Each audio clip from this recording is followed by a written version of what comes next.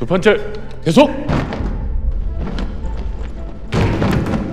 보통 이런 실수는 감정이 지나치게 앞설 때 하게 되세요. 뭐 누가 더 화났냐로 이기는 거야? 검도가? 야, 황태수. 그런다고 죽은 아들이 돌아와? 대련 평가 때마다 1등한 사람에게 이 흰도복을 한 벌씩 제공할 거야. 머리 김재우, 황태수 승. 손목 김재우, 황태수 승.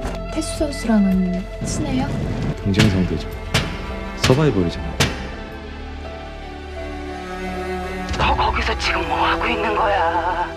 아버지 따라하려는 거야? 첫 판은 굉장했어요. 같이 잘해봐요. 남의 가족은 박살내고 네 가족은 또 챙기고 너 뭐야? 도망가지 마라 안 도망쳐.